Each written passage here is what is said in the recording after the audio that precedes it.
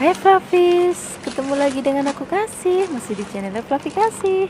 Hari ini Flavi Kasih mau bikin resep yang sederhana banget, murah meriah banget, bikinnya gampang banget, tapi rasanya enak banget. Kita akan bikin tumis jamur tiram ya. Ini jamur tiramnya kita siapkan sebanyak 500 gram. Ini aku pakai jenisnya yang baby, jadi Flavis bisa juga pakai yang jenis yang gede juga nggak apa-apa. Nah ini jamurnya supaya nanti dimakamnya lebih gampang kita suwir-suwir ya. Nah kalau jamur ini kan ada sedikit bau e, languknya. Nah cara untuk menghilangkannya biasanya aku bersih-bersih dulu. Setelah itu aku rebus sebentar dengan air mendidih. Gak usah lama-lama Flavis Jadi begitu airnya mendidih kita cemplungin. Kemudian kita tunggu sampai nanti mendidih lagi baru kita angkat. Nah, di sini untuk merebusnya aku menggunakan panci dari Revan ya. Dan serokannya aku pakai mereknya dari Viera. Nah, ini kalau sudah selesai direbus, kita angkat, kita sisihkan. Setelah ini kita siapkan bumbu halusnya. Nah, untuk bumbunya kita pakai ulek aja ya. Di sini kita siapkan bawang merah sebanyak 12, bawang putih sebanyak 8 dan cabenya di sini aku pakai nggak usah banyak-banyak, sekitar 6 sampai 7 aja. Kalau sudah lapis mau lebih pedas boleh tambahkan cabai rawit ya. Nah, kemudian setelah ini kita akan haluskan. Si hari ini aku menghaluskannya menggunakan ulekan. Tapi juga bisa menghaluskannya menggunakan blender ataupun chopper. Jadi terserah Flavis aja mana yang Flavis suka dan menurut Flavis lebih gampang dan praktis nah kalau sudah halus ini sengaja nggak terlalu halus banget supaya nanti warnanya itu masih cantik pada saat kita masak. Nah, setelah ini kita siapkan lagi bahan lainnya. Di sini kita siapkan 4 daun bawang. Kemudian daun bawangnya akan kita potong. Potongnya nggak usah kecil-kecil ya jadi agak memanjang. Jadi nanti biar gedenya itu hampir sama dengan jamurnya. Setelah ini kita tambahkan lagi bahan lainnya yaitu tomat. Di sini aku pakai tomat tomat merah. Ini cukup satu aja. Nah ini dalamnya kebetulan ada item-itemnya. Kita buang kemudian setelah ini kita akan potong kecil-kecil nah selain ada tomat merah supaya nanti warnanya lebih cantik lagi kita akan tambahkan tomat hijau ya. Satu aja udah cukup ini pakai yang jenis agak besar. Cukup satu aja kemudian dipotong tipis-tipis juga. Nah, setelah ini kita siapkan dulu dalam mangkok kemudian kita siap untuk memasak. Siapkan wajan dan minyak secukupnya untuk minyaknya aku pakai minyak kelapa dari cap ikan dorang. Dan untuk wajannya di sini aku menggunakan wajannya dari Revan ya. Nah ini kita biarkan sampai panas. Baru setelah itu kita akan tumis bumbu yang sudah tadi kita ulek-ulek kita akan biarkan sampai harum. Nah untuk spatulanya di sini aku pakai spatula silikon dari Sierra. Nah kita akan tumis sampai nanti aromanya itu benar-benar harum banget baru kita masukkan jamur yang sudah tadi kita rebus dan sudah ditiriskan terlebih dahulu ya. Kemudian kita aduk-aduk sebentar biarkan semuanya tercampur rata. Baru setelah ini kita akan tambahkan bumbu lainnya. Kita tambahkan di sini ada garam secukupnya, penyedap rasa secukupnya, ada gula pasir secukupnya, dan ada saus tiram sebanyak satu sendok makan. Kemudian kita aduk, kita akan masak, biarkan semua bahan tercampur rata dan rasa jamurnya itu sudah enak banget. Baru nanti kita akan masukkan, tadi akan ada tomat hijau, tomat merah, dan juga ada daun bawangnya. Nah, kalau daun bawang dan tomat sudah masuk, itu artinya masaknya nggak usah lama-lama lagi, Fluffy. Tinggal diaduk-aduk-aduk sebentar supaya nanti tomatnya masih ada kris-krisnya dan warnanya juga masih cantik banget.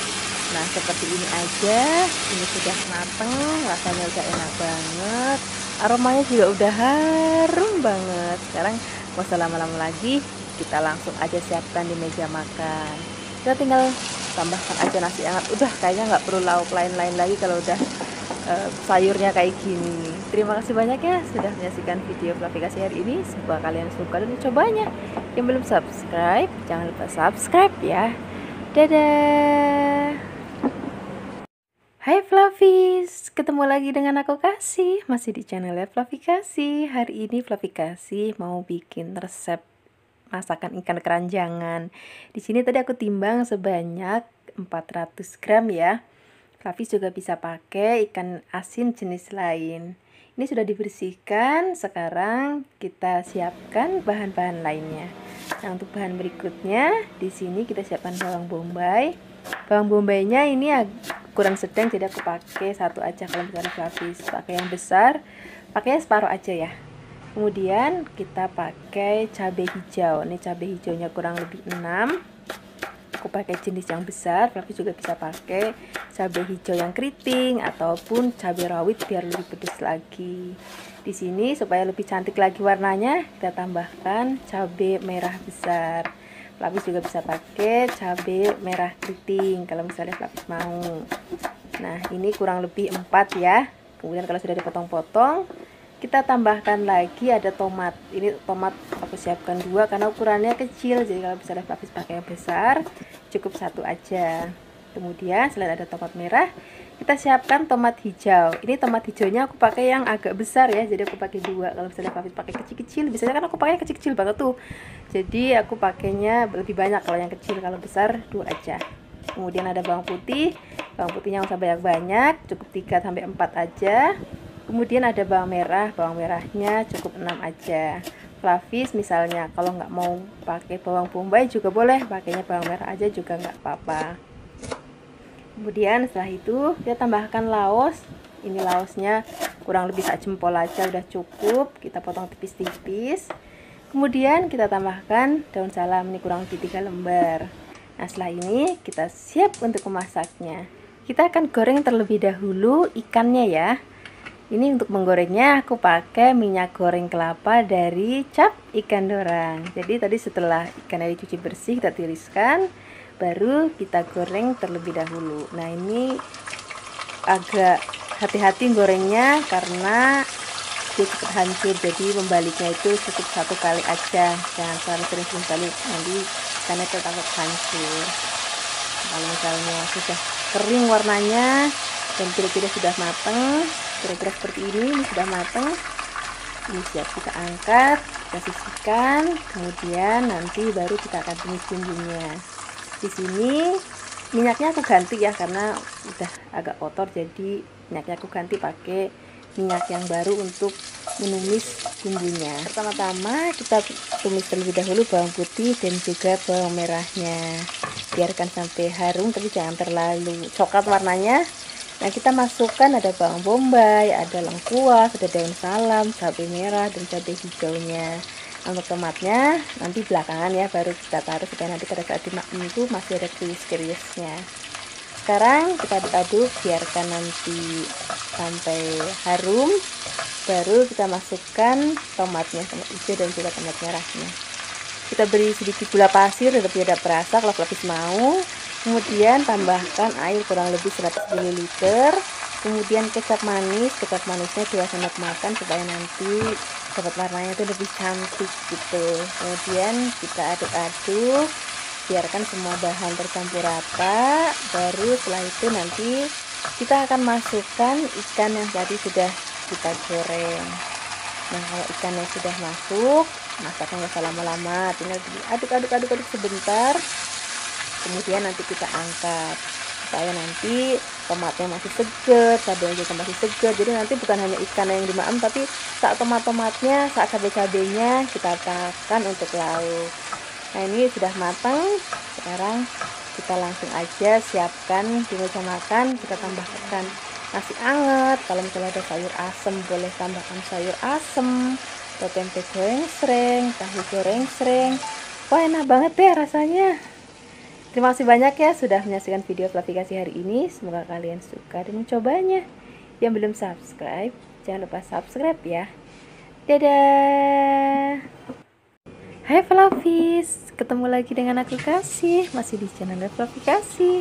Hari ini Flavikasi mau bikin menu yang seger banget. Karena dari kemarin kan kita makannya berat-berat terus. Jadi hari ini kita bikin menu yang seger. Kita akan masak ikan patin ya ini kan patinnya kita siapkan sebagai satu ekor. Kemudian kita akan marinasi dulu dengan sedikit garam dan juga satu jeruk nipis. Kalau nggak ada jeruk nipis juga boleh pakai lemon ini supaya nanti aromanya tuh nggak amis karena nanti kita nggak akan goreng ikannya. Jadi hari ini benar-benar menunya itu yang seger banget. Sambil menunggu ikan dimarinasi kita siapkan bahan-bahan lainnya ya di sini kita siapkan tomat. Untuk tomatnya sebanyak dua karena ini enggak terlalu besar jadi aku pakainya dua ya. Kalau yang besar ya sudah pakai satu aja. Kemudian tomatnya kita potong setipis-tipis seperti ini kemudian selain ada tomat merah kita tambahkan lagi tomat hijau nah, tomat hijaunya karena kecil-kecil banget aku pakai 8 kalau misalnya pelapis di rumah ada nanas boleh tambahkan nanas ya. Atau juga kalau mau belimbing bulu juga nggak apa-apa biar rasanya nanti seger banget.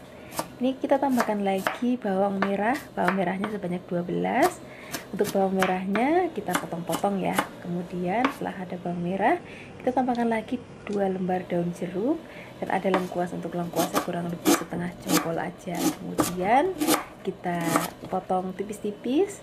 Setelah ini kita siapkan bumbu halusnya. Di sini ada tiga kemiri dua ruas kunyit dan ada terasi kurang lebih seruas jari telunjuk. Ini sudah kita garang terlebih dahulu ya kemudian tambahkan satu bawang putih dan cabai kalau cabai sini sesuai dengan selera Hafiz kalau mau lebih pedas ya boleh lebih banyak.